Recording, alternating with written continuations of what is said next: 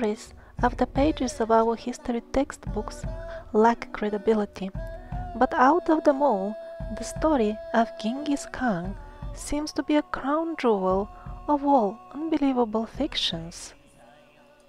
Huge swarms of Mongolian warriors stormed into Europe, conquered everything, including Asia on the way, and reached all the way to Egypt.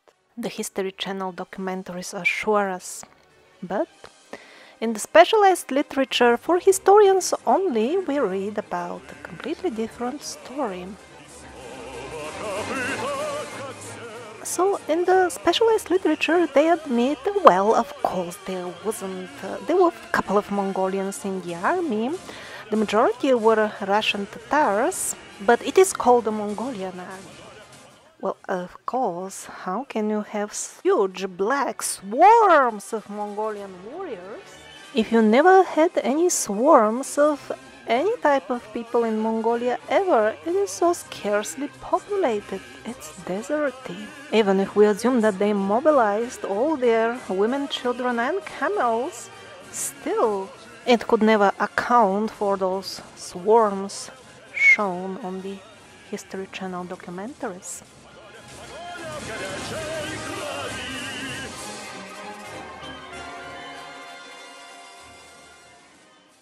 Just two centuries ago, its entire population was barely a half of a million people. According to mainstream sources, in Genghis Khan's time, Mongolia's population was a couple of thousand people, most of which, of course, were women and children. And by the way, the Mongolians are the most peaceful nation on earth you can imagine. They still lead nomadic lives, as they used to do centuries ago. And the idea that they could have mobilized an army, any reasonable army, out of these couple thousand people is quite disconnected from reality. Because the men are very few and the ones that are around are needed to always assemble and disassemble their tents. Because they are a nomadic people. They constantly move, following their cattle, and they move their tents as well. In addition, in terms of natural resources, Mongolia is deprived of metals and doesn't have any record or any tradition at all in terms of the making of metal weaponry. That is why uh, that uh, story is presented in the professional uh, historians' uh, literature that the army was of foreigners and there were just a couple of Mongolians on the top. And how did this couple of Mongolians convince the most mighty Chinese and Russian armies to become their subservients? Well, to that question, the so called historians just don't give any answer, skip it, and it is left to us to wonder how did they do it. Well, I came up only with two ideas. First of all, Maybe the couple of Mongolians on the top took over the enemy's armies by scaring them with a procession of paper dragons. Another scenario that I would suggest for inclusion in those uh, mainstream history books is that the traditional Mongolian fighters, like the ones you see on the photo, they organized a rainbow parade for the Russian and Chinese armies, and when the other side saw them, they decided, We are your slaves forever. Maybe you didn't find my two suggestions very convincing. But my endeavor was to maintain the general level of credibility of the rest of the stories that they're giving us. Like, for example, the Mongolian fighters, why they could conquer two, three continents, is that they could appear out of nowhere and disappear, evaporate.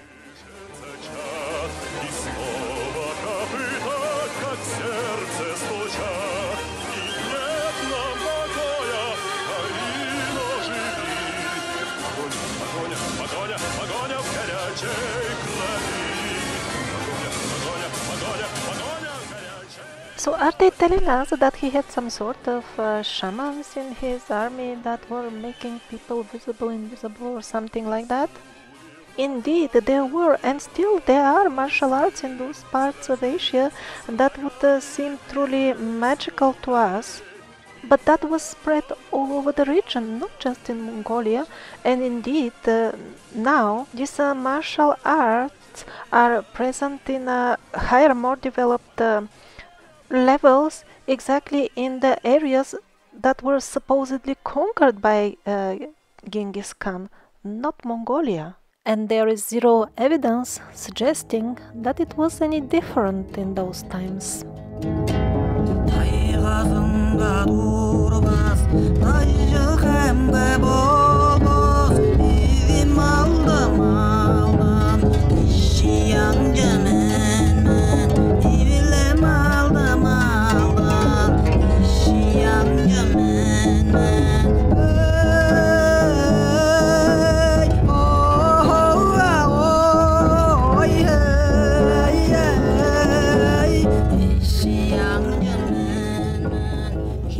The renowned cartographer Abraham Ortelius is showing us what people meant when they said Moguls and Mongols in the past.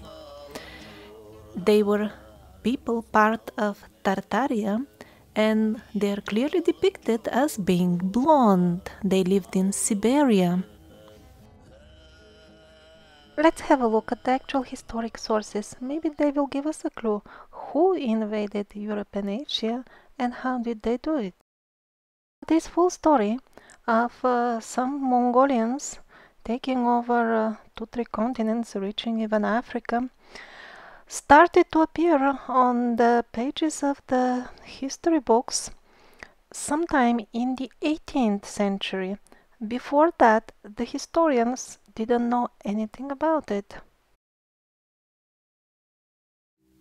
And this is how the story emerged. In year 1826, the Russian Academy of Sciences, which by the way is a foreign entity, offered a very substantial financial grant for any local or foreign historian who would uh, compile a story of Mongolian invasion of Russia and Europe. That's how the idea appeared for the first time. They had a strict requirement that the works must be submitted within three years. Interestingly enough, six years later, they came up with the very same offer again. Well, they did have a single response, a work submitted uh, from Germany, but it was not approved. And uh, by the way, till date, uh, specialists in Oriental studies say that although many have uh, tried to really delve deep into the matter, till date there is not a single comprehensive published re research on this so-called invasion in either scientific or even in the form of popular literature. And still, it is accepted as history by the academia. Usually they would uh, quote two authentic sources. One of them is an 18th century book called The Secret History of the Mongols. Even prominent uh, mainstream Oriental historians doubt the validity of this source, and full reference uh, can be found in the new chronology books of Anatoly Fomenko, to which I have uh, provided links already many times. And the second source, quoted as pure and authentic, is the work of the Arabic uh, historian Rashid ad-Din, of course, a copy of the Golden Book miraculously emerged in St. Petersburg exactly when needed for compiling this uh, new history. But of course, the validity of every historic uh, document uh, can be questioned.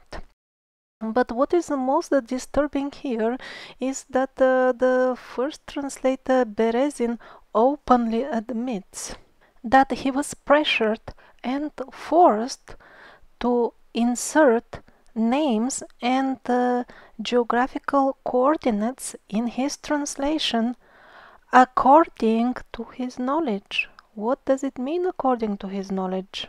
The translator explains In many occasions, the diacritic marks were missing.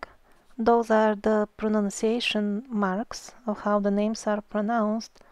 And in many cases, yet the very names were missing altogether. And the translator was forced to add them according to his knowledge. What does it mean according to his knowledge if the book he is translating is actually the only alleged source of any knowledge on this matter to start with. So, if this entire story of the Mongolian invasion of Europe and Asia was basically a sponsored idea which emerged a couple of hundred years ago, then what did people believe in before that? Do we have any contemporary records of some sort of invasion of that time? For example, a certain person called Julian, a Hungarian missionary and witness of this invasion, describes the invaders as Tartars, that were a blond, Gothic people. They came from Gothia, Tartaria. Now, this could be confusing for those who haven't read yet the books of the New Chronology by Anatoly Fomenko, where numerous quotes are given, proving that in older times, when people say Goths, they actually meant the Slavic people. And the modern idea that these are just people of Germanic origin doesn't quite do the Goth idea justice. This division was artificially created at a time when the nations that mixed with the survivors and were spreading their survivor culture, their true history, needed to be blurred. And that is why at different locations they were given different names.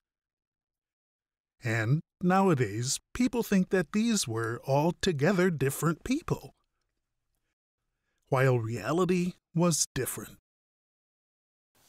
People who have a Gothic heritage in modern terms may have the feeling that I wanna rob them of their glorious history by saying that the Goths were actually Slavic people.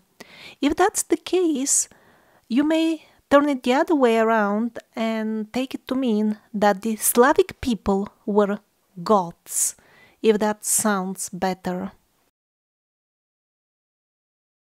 Here, on the old map, the truth transpires. Gothia is in Tartaria. Slavic and Gothic people were one and the same. Actually, it's a couple of places that are called Gothia on this very same map, and all of them are on the shore of the Black Sea. One is um, on the north west shore and the other one is straightforward north from uh, the Black Sea. Nowadays, the people of those areas are called Slavic. They're not called Goths. And all this confusion with the names was created only on purpose to blur the truth about the true origin of the various nations. But regardless what name we put on the invaders, one thing is for sure all the contemporary writers, without exception, describe them as Caucasian people, very often blonde. Which again is not disputed by the specialized uh, mainstream historic literature, they just add that thing yes, the army was Caucasian, but the chief was Mongolian. These are some contemporary drawings, art, illustrating what people meant in those days when they say Tartars. Here, visitors from Western Europe depict what they saw when they visited the court of the Tartar prince and princess. And this is how medieval people believed Genghis Khan looks before the introduction of the new fabricated history.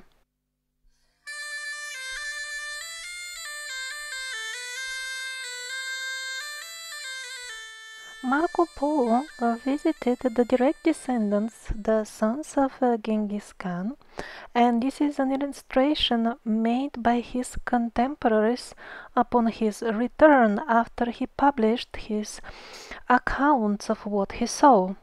Here Marco Polo is being welcomed by the great Mongol, the Tartar king. But when they print this same book in modern times, this is the type of illustrations that they put. This depicts the very same scene. Another modern illustration, the Great Khan, looks completely different from what Marco Polo speaks about in his book. This is how it looked in the original illustrations.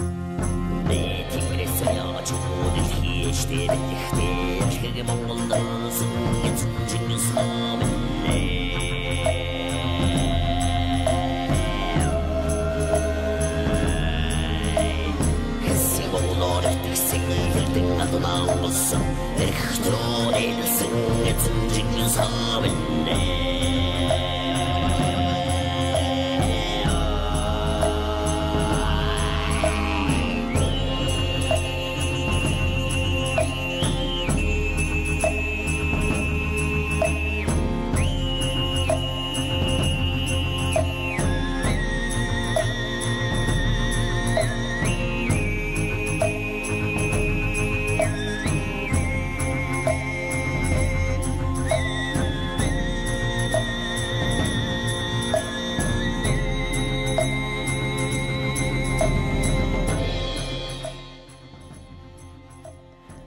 this is an old uh, drawing of another Mongol, Mongol ruler.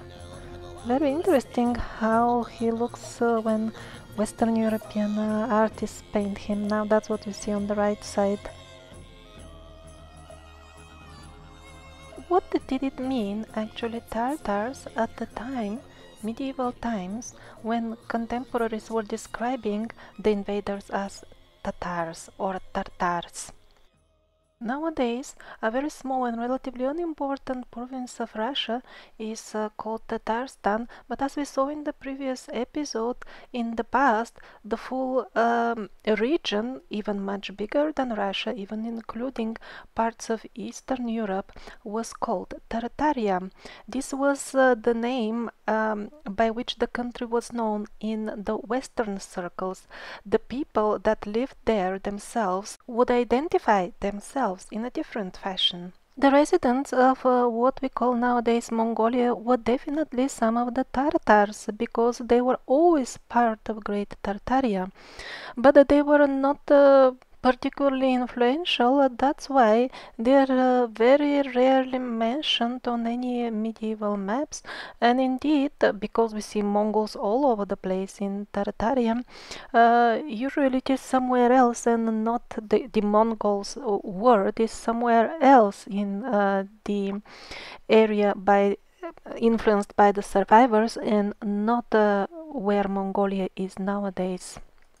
In this particular map, Mongol is placed in Siberia and not in Mongolia. Let's not forget what uh, the medieval texts tell us. Uh, the Tartars were Goths. For example, on this uh, old uh, map we see Tartars all over in Eastern Europe, in what it is nowadays uh, Bulgaria, Romania, all these uh, countries. Even as close as a couple of centuries ago, these Slavic nations were still part of this bigger federation which was still honoring the principles of the culture of the nature people, the survivors, or the scattered people, as Mavro Urbini called them. Now, some of you may object, but all these uh, Eastern European countries, they had their own kings at that time and they are documents about it, isn't it? That is partially true. But when the team of the new chronology examined the actual dynasties of all these uh, Slavic uh, kings, ancient Bulgarians, uh, Dacians, and so on, transpires that these uh, dynasties, in many cases, not all, sometimes there were local rulers as, as well, especially in uh, more recent times, they are uh, duplicates of the khans that were uh, the khans of Tartaria, that huge federation that was honoring the rules of the survivors and their culture. What does it mean that they were recognized as um, phantom duplicates? Well, charts are made with uh, the names of all kings and other details are included like the uh, duration of their rule also main events that happened personal details about uh, their families and wives and so on and that is done for both sets of dynasties and this is a sample of how the resulting uh, charts look like. And when we notice that full dynasties, the, names of the kings, the years of their reign, their achievements, the actual wars, when we see that they match very, very closely, it is uh, really a very good uh, chance that this is, we have a case of uh, actual phantom uh, dynasty and the, the need of such a phantom dynasties arose when this federation of Great Tartaria was removed from history. Then they had to fill up the gaps with something and because it would have been harder to convince people that it was uh, crocodiles from the constellation of Andromeda that were ruling the earth at that time, they had to make some sort of uh, mixture of semi-truth and fiction that would be believable to people.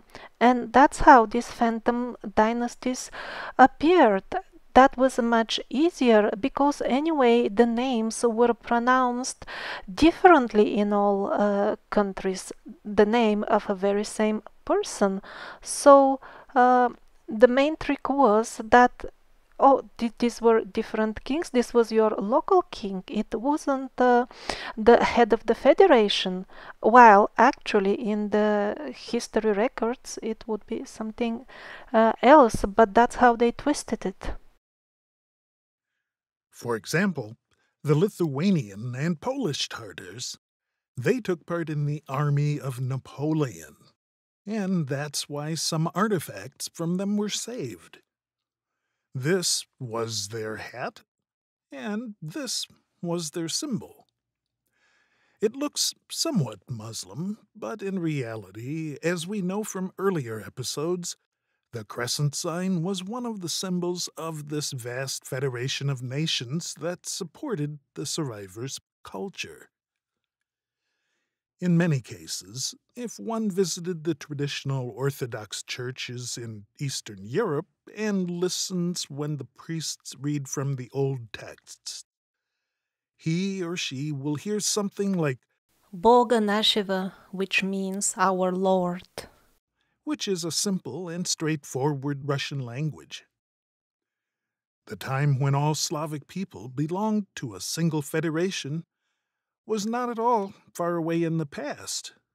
But it looks like this because all the common elements of their culture, although they are absolutely the same, bear different names in each country, according to mainstream history.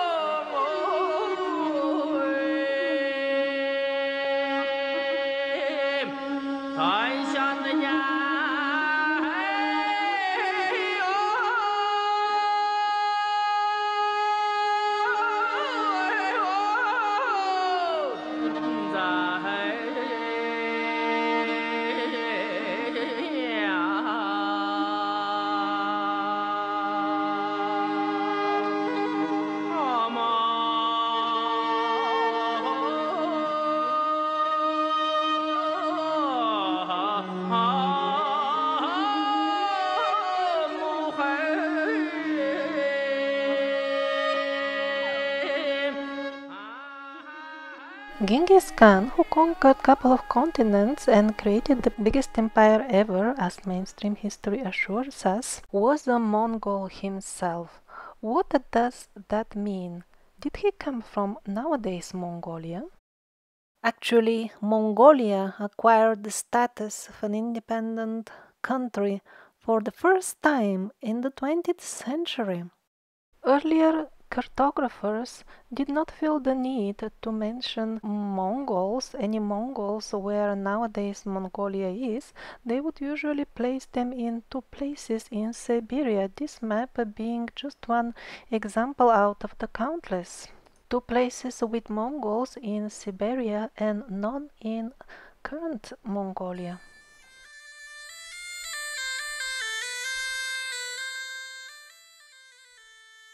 Only uh, at later stages in 17th and 18th century we start seeing some sort of Mugalia or Mugalia on the maps, which uh, later on evolved into Mongolia. So the people of nowadays Mongolia are just one out of the many descendants of nations that called themselves Mongols. For example, this map is from the times when nowadays Mongolia was just emerging as a separate entity. That's why we see both Mugalia and Mongols on the same map, the Great Mongol Empire as well.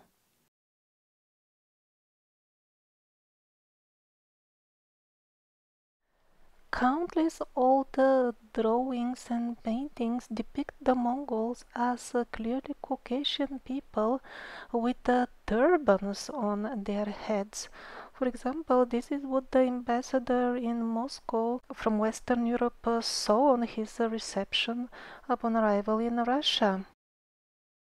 These are the contemporary old illustrations of this book.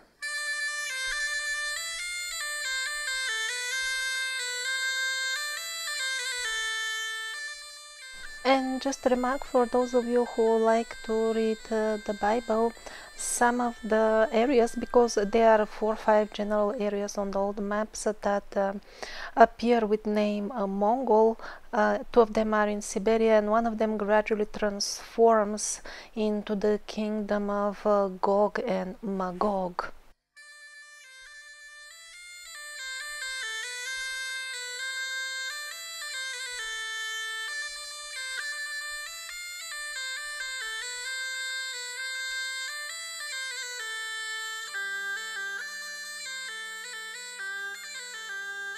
And here some uh, old Bible original text it says with the Cyrillic letters this is not a translation Magoga Knyaza Roska so it turns out that the allegedly mystical kingdom, biblical kingdom of Gog and Magog is nothing else but uh, the Siberian parts of the Knyaza Ruska, the kingdom of the Rasseyanami. Ruska comes from Rasseyanami, the scattered people, as Mavro Urbini called them. So again, this very common trick has been used, a necessary mystification. Oh, nobody knows where is Gog and Magog, it's biblical, it's lost. No, it's not. They are telling us that the location is unknown just because they don't want us to hear about the Great Tartaria, which is the great empire of the Mongols. And by the way, those uh, Mongols that invaded, uh, took over Europe and Asia, were the same uh, people that we call Mongols or Moguls nowadays. They were not Mongolians. The Mongolians were a small and not very significant part of the Mogul culture. They were not all the Moguls or Mughals. And actually, honestly, looking at the, the older maps, there are many Mongol places, but usually India is the one that comes with the biggest letters and it's the most frequent one. It says with the big letters. Magna Mongol, uh, the great empire of the uh, Mongols.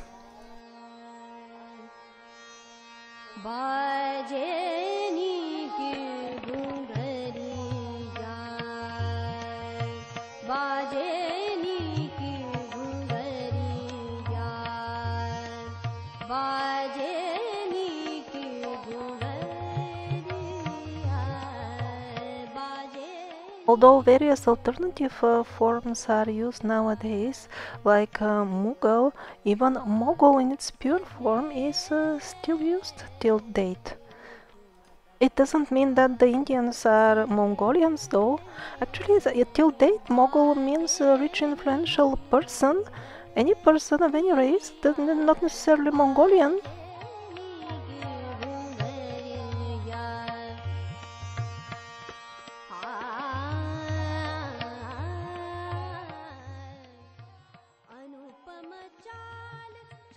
This is, for example, how the uh, Mongol warriors would uh, look like, and this is what the modern so-called historians are trying to convince us they looked like, and this is a so-called restoration of an old painting. Very professionally they restored it indeed. And it is not by chance that India is a favorite for those who seek genuine spirituality.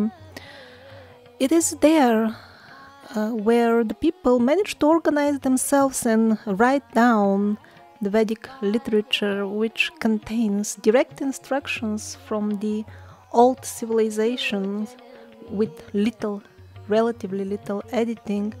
And because through the ages they remained again only relatively loyal to the angelic principles on which the Vedic books are based. And by the way, speaking of India, the famous Taj Mahal is a is an excellent example and evidence of the times when Islam and the Hindu faith, so to say, were one and the same. Usually, Taj Mahal is considered a Muslim building and yet, below the layers of restoration, at many places, Hindu symbols and elements surface. And because most people in India are brainwashed with the new fraudulent history, what is the result of these findings of uh, both uh, Hindu and Muslim layers in Taj Mahal? The result is that it uh, further fires this uh, religious intolerance. People quarrel, oh, it's ours, no, it's ours. They fight, they kill each other because of that.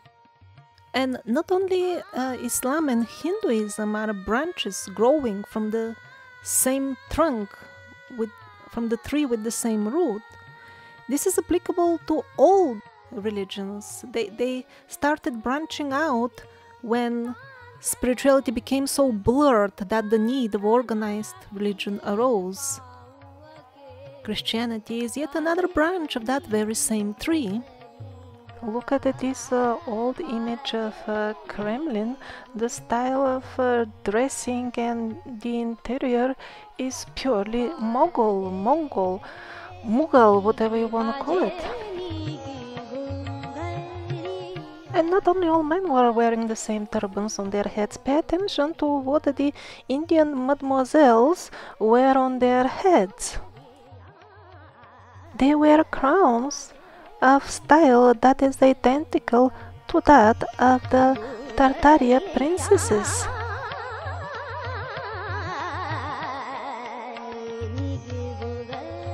The Indians kept carefully for us not only the literature of the survivors but also their outfits. This is what the ladies wear in India on the street even nowadays.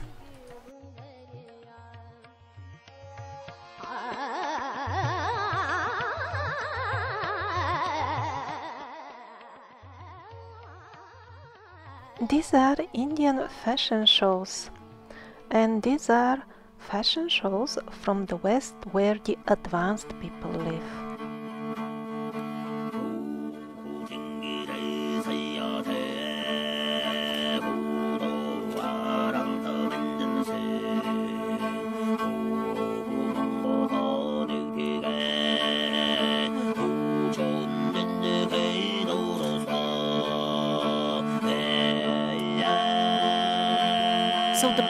Assure us that not only Genghis Khan conquered half of the world, but his dynasty ruled over the majority of the conquered territories for entire 300 years. That yoke only ended, continue the historians, in 15th century. Sounds like a grand empire to me. Has it left any artifacts or writings of some sort? Well, not really, no artifacts, but the penguins, sorry, historians have come up with uh, writings. And indeed, they have found one stone that appears to have Mongolian signs on it. They also uh, say that the Persian novel is actually Mongolian. It was never studied before as Mongolian because it looks Persian and they, they themselves continue. It is actually in Tartar language, they say, but the signs must be Mongolian. Well, how convincing.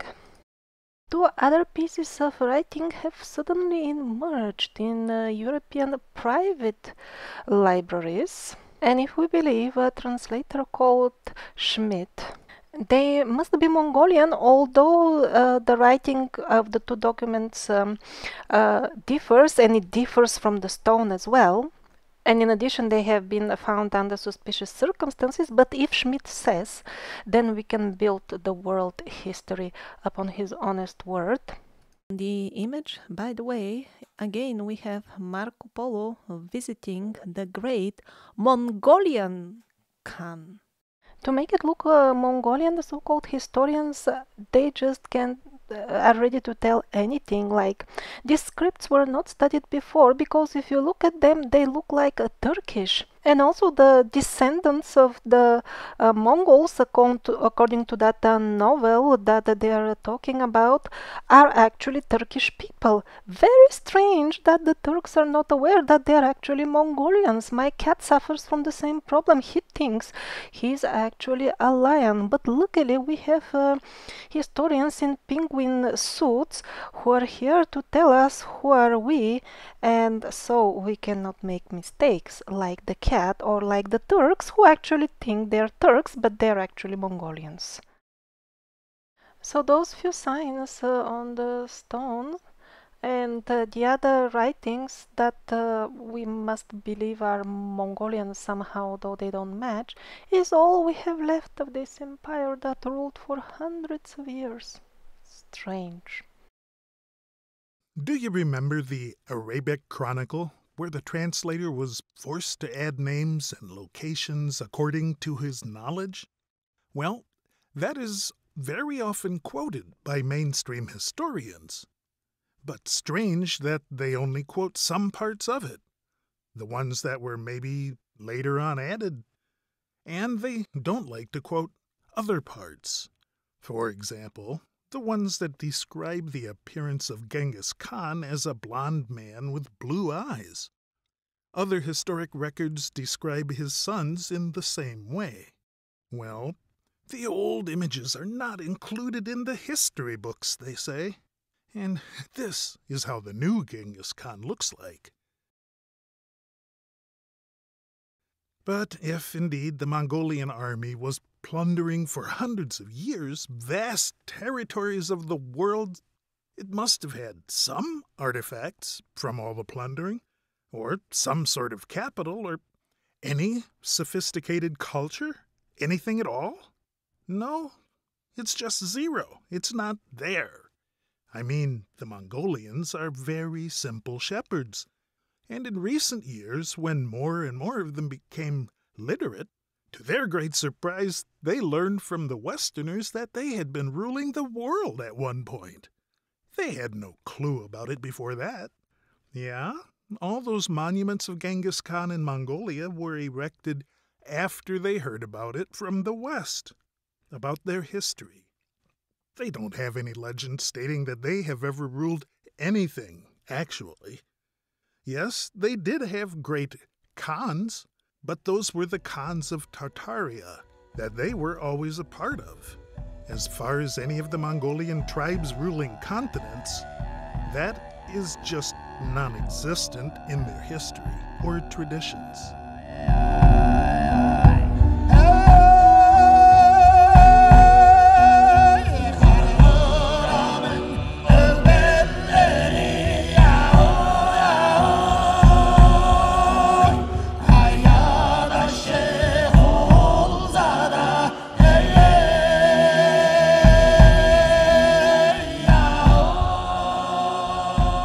Task of every good uh, mainstream historian is just copy and paste. But there are exceptions, and Erik Midelfort is one of them. He used to work in various European historical archives and actually he started reading the old books. He noticed very strange ideas spreading amongst the nobles and clergy of Europe in the 16th century. He found uh, numerous unrelated records that in, in various parts of Europe, men of high position were trembling with fear and suffering from severe paranoia that tomorrow the Tatars and Mongols are invading again how is that possible if those were really from Mongolia? And some century before that they already uh, lost their uh, strength and were no longer holding Asia. How could they arrive in Europe tomorrow? By flight or? Midelfort really found out a lot of uh, genuine uh, records of otherwise absolutely sane uh, people suffering from this very strange paranoia even to the point that uh, uh, one, for example, was uh, sleeping with full body military armor at night out of fear that the Mongols may knock on his window. Midelfort decided that they must have uh, suffered from some extremely weird mental disease and these uh, ideas were even contagious and uh, also infecting only noble people and clergy. Well, his hypothesis is not less uh, weird uh, than the virus that infected the nobles, but in the light of uh, the new chronology history, all this uh, fits uh, perfectly very well because in the 16th uh, century, still the Tartars and Mongols were there where they have always been in Tartaria. It is absolutely possible that there were rumors at that time that the Tartars were planning to conquer Europe again. Please note that I am narrating these historical events not because I approve them or I endorse the very idea of some big empire, just on the contrary. The full point of the Survivor series is to point out how normal people were gradually tricked into empires, countries, and other limitations just to lose their freedom. Once we become aware in what kind of trap have we fallen, then we'll know how to get out of it.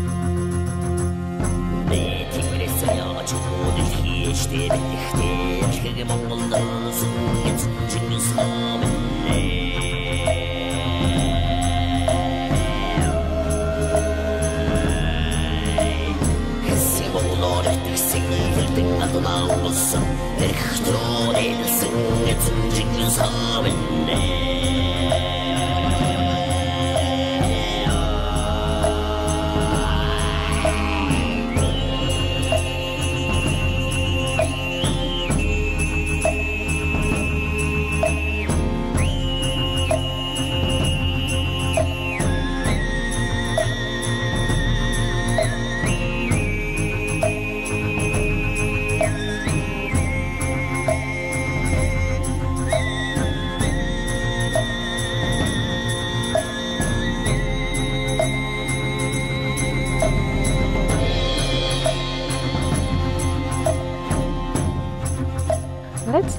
see how the modern fairy tale myth about the Genghis Khan of Mongolia is perpetuated in the modern society with the help of mass media. Spicy articles assure us that scientists have found out that half percent of the full population of Earth now are descendants of Genghis Khan and colorful diagrams are added that nobody understands so that it makes it look scientific. It is soon even turned into some sort of uh, business and show, and you can even spend money to test yourself if you're descendant of Genghis Khan. Here and there, a few voices uh, calling for sanity uh, are writing articles that this is impossible, but when the monster big media, the mass media, supports it with uh, spicy uh, titles, we owe it all to the superstud Genghis Khan, people believe that's real science. Some people still can think for themselves, and when they read this, they did the math of how many children he must have made and so on, and still it, it's impossible. He wouldn't have had time to do all this uh, 24 hour procreational job when did he sleep? When did he eat or go to war? And those who started the misinformation campaign at the first place thought about this, and that's why they cleverly said, well, he didn't do it all by himself, it was his sons who did most of the hard work. It's not that his numerous sons did most of the work, so to say, because if they were born to raped women, they would be bastards, meaning the parents don't live together. And that means that they would have automatically less chances of having lots of progeny in the society where they live. They will have unequal chances for having children. Only his legitimate sons, uh, who will be negligibly small number compared to percentages of the world's population, only they will have the opportunity to have more children than average. And actually, as these uh, spicy articles in the newspapers admit themselves somewhere towards the end with small letters, all this is based on a hypothesis and interpretation by certain scientists, not all of them agree, that a certain group maybe has this particular given pattern in their DNA code because they had a common man in their ancestry. Even that is not sure. And even if we assume that all these people who belong to this group indeed had a common forefather long time ago, hundreds of years ago, how would we know it's exactly Genghis Khan? They have never even found his capital, what to speak of mummy or anything else, but they know that all the children are from him only. All this is uh, very depictive of how the newspaper articles and especially their uh, titles with big letters can uh, really create uh, very wrong impressions in people about their true history in this case, all this uh, full story of Genghis Khan seems to be reinforced and confirmed by the uh, DNA study, while in reality, uh, the DNA uh, so-called study is actually based on this fiction. The story is also very depictive of how the so-called DNA science can easily be, uh, become one of the uh, strong pillars of what I call the TV religion means believe everything that TV tells you for the simple reason that uh, they can just tell any nonsense and then say, oh, it is a result of scientific research, and they are not obliged to provide the uh, base data of this research, or even if they have to, it's so easy to manufacture. Just take a computer and type any string of anything you want.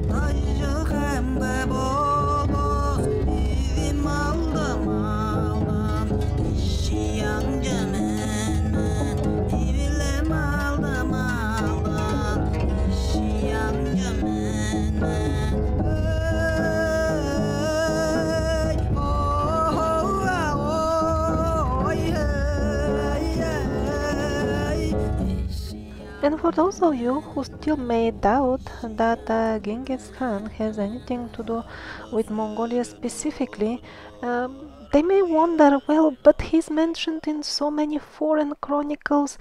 We see quotes of uh, on the internet. You will find this is a, a, depiction of Genghis Khan in Japanese chronicle, in uh, um, Chinese chronicle. What about those? Well, Genghis Khan is not a proper personal name. It means the great Khan. So this makes it uh, very convenient to match any Khan, Khan, any ruler you wish, to him.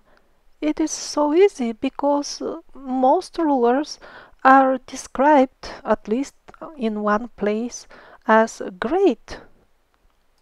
Actually, if you decide to spend some uh, time uh, in a serious uh, study, you will find out that uh, they mainstream historians even have no clue what was the name of Genghis Khan in Mongolian at the time he was uh, supposedly ruling it. It is uh, that much a lack of any information about him in Mongolia itself. The way they give it written and pronounced in Mongolian language, that is in modern Mongolian language. Uh, at his time, in his epoch, completely different language was used, as they themselves admit, and they have no clue. Uh, I mean, they have different versions, but it is not even clear what was uh, his uh, name at that time.